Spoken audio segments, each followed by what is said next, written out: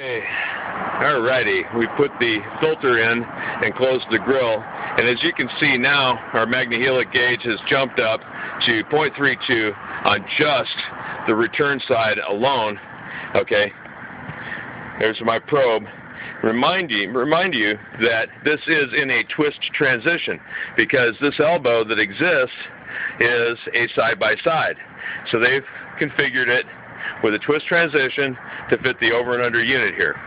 I'm going to insert my supply probe and we'll see what we've got now.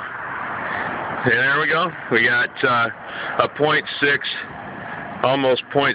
It's jumping. A little turbulence there. Now what I'm going to do is I'm going to measure the actual side-by-side -side elbow itself. Over here I've drilled a hole on each side of the side-by-side -side elbow. So one, one side's return, one side's supply. So here we go. We're going to pop the, pop the gauge into the into the elbow right here. A little, man, a little difficult to get it through.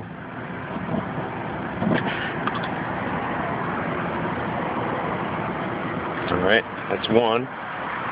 No appreciable change. I'm to put the camera down for just a second. Bear with me.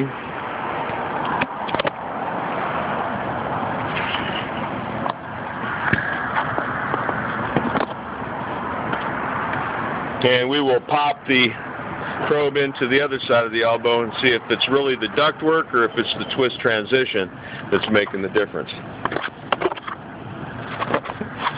Right now, I've taken the supply probe out. You can see we're still the same on our return duct with that filter in place downstairs at 0.32, same as we were. I'm going to go to my supply side on the ductwork itself.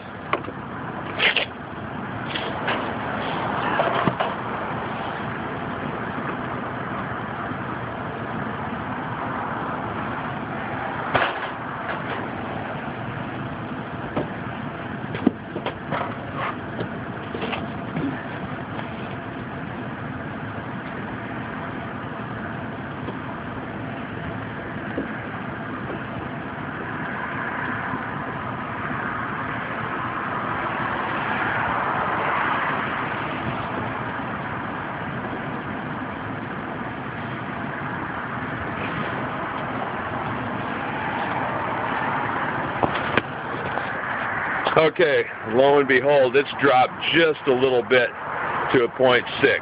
So that twist really isn't adding a lot to the actual back pressure in the ductwork.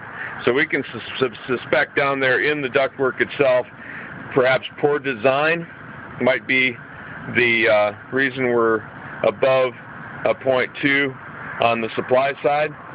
Uh, we may have a piece of insulation torn loose down in there and uh, drilling a little bit bigger hole and looking at it with a scope might be a good idea. Take a look at the ductwork from the closest register.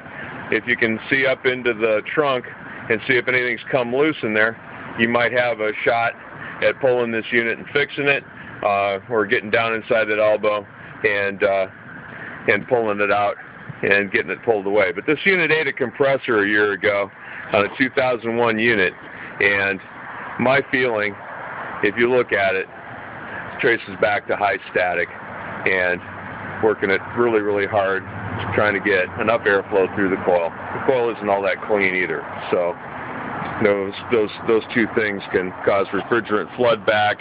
Have, have a serious amount of problems with the with the unit performance as this man's experiencing.